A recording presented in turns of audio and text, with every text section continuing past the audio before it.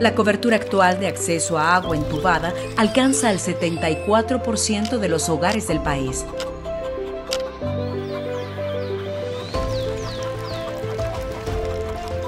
Se necesita una mayor inversión en agua, saneamiento e higiene para, alcanzar a todos. UNICEF para cada infancia.